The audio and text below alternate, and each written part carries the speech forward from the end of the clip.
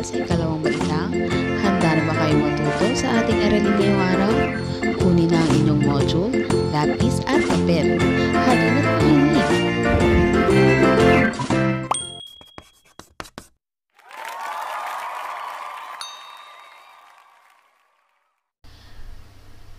Ating pag-aaralan ang pagtaas at pagbaba ng tono na makikita sa inyong music module week 1. Pagkatapos ng araling ito, inaasahang makikilala mo ang mataas at mababang tono. Tumingin ka sa paligid. Nakikita mo ang iba't ibang mga bagay. Halimbawa, kahoy, kutsara, latang may laman, at electric fan. Alisin mga ito ang nagbibigay o lumilikha ng tunog. Subukan mong patunugin ito sa pamamagitan ng pagpalo, pag-alog o pagbuhay dito. Napansin mo ba na may iba't ibang tunog ang mga ito? Gaya ito ng mga nota na sumisimbolo sa bawat tunog. Tingnan ang larawan sa kanan. Ilang bata ang nakikita mo? Tama, ito. Anong napansin mo sa kanila? Sila ay maliit, papalaki. Ang ating gagawin ay awitin ang mga sofa silaba ayon sa pagkakasunod-sunod. Maging gabay ang larawan sa kanan. Ang taas ng mga bata ang sumisimbolo sa pagtaas ng tono. Makikita ninyo ito sa gawain sa pagkatuto bilang isa sa page 7 ng inyong music module. Tingnan ang larawan sa kanan. Ang mga bata ay may kanyang-kanyang simbolo ng tono mula sa do, re, mi, fa, so, la, ti. Halina't awitin ang sofa silaba.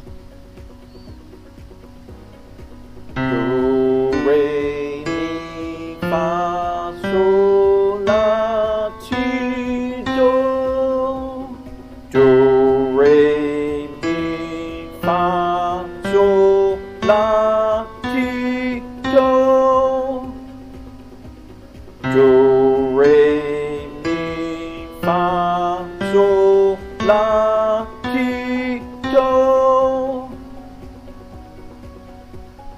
Naawit mo ba ng tama ang pagkakasunod-sunod ng sofa silaba? Magaling!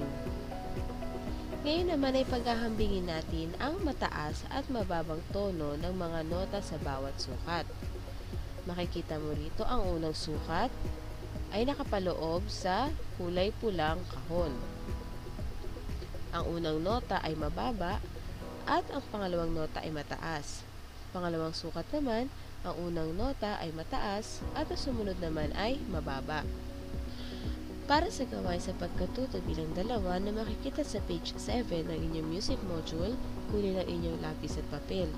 Paghambingin ang dalawang nota sa bawat sukat o measure. Isulat ang MT kung ang nota ay sumisimbolo sa mataas na tono at MB naman kung ang nota ay sumisimbolo ng mababang tono. Gawin ito sa inyong sagutang papel.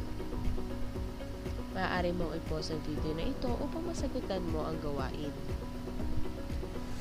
Ngayon, kung natapos mo na siyang sagutan, narito ang mga sagot. I-check mo nga ang iyong gawa kung tama. Sa unang sukat, ang unang nota ay MB. Sunod, empty. Number 3, empty. Number 4, MB. Number 5, MB. Number 6, empty. Number 7, MB. At number 8, empty. Nakuha mo ba ng tama ang lahat ng sagot? Magaling! Ngayon naman, sa ating gawain sa pagkatuto bilang tatlo, page 7 pa rin, kunin ng lapis at papel, lagyan ng between o star ang mataas na bilog, at araw naman ang mababang bilog. Gawing gabay ang halimbawa sa unang sukat o measure. Gawin ito sa iyong papel. Maaari mo muling i-pause ang video na ito habang ikaw ay nagsasagot. Narito ang mga tamang sagot. Ang unang dalawang bilang ay ibinigay na. Ang number 3 ay araw, 4 ay between, 5 araw, 6 ay between, 7 between, at 8 ay araw. Nakuha mo ba ng tama? Magaling! Isa muling paghahambing ng mas mababa, mababa, mataas, mas mataas na tono ng mga nota sa bawat sukat. Makikita mo sa larawan ang mga halimbawa ng mataas, mas mataas, mababa at mas mababang nota. Handa ka na ba? Magsulat ng bilang isa hanggang labing lima. Ito ay para sa gawain sa pagkatuto bilang apat na makikita sa page 8 ng inyong music module. Paghambingin ng apat na nota sa bawat sukat o measure. Isulat kung mababa o mas mababa, mataas o mas mataas. Tingnan ang halimbawa sa ibaba. Gawin ito sa iyong papel.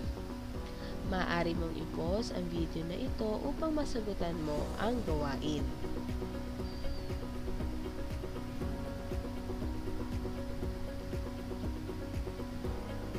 Kung tapos na, narito ang mga sagot. Tingnan ang iyong gawa kung nakuha mo siya ng tama. Nakuha mo ba ng tama ang mga sagot? Mahusay, palakpakan ang iyong sarili. Gawain sa pagkatuto bilang lima na makikita pa rin sa page 8. Kunwari ay sasali ka sa isang fashion show. Mag-isip ka ng mga posisyon o pose na nagpapakita ng mababa, mas mababa, mataas, at mas mataas. Magpa-picture ka sa kasama mo sa bahay. Idikit ang iyong mga larawan sa papel at lagyan ng label ang bawat larawan.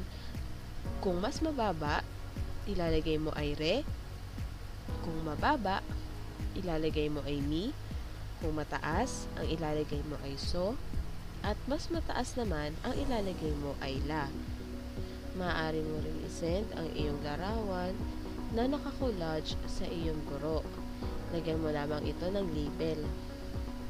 Sunod na gawain, mag-isip ng apat na uri ng hayop o bagay na makapagbibigay ng tunog na mataas, mas mataas, mababa at mas mababa. Gawing gabay ang halimbawa sa ibaba. Gawin ito sa iyong papel.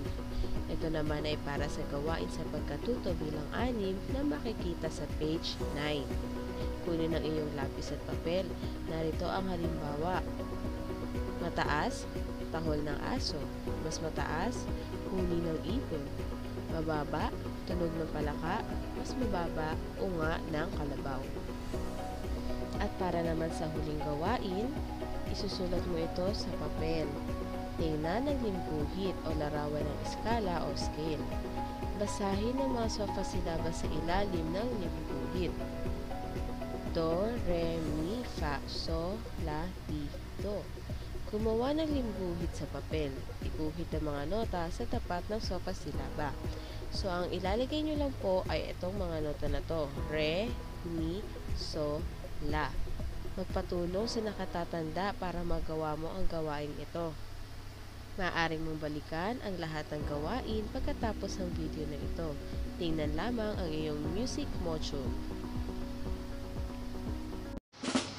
Maraming salamat sa iyong pakikinig.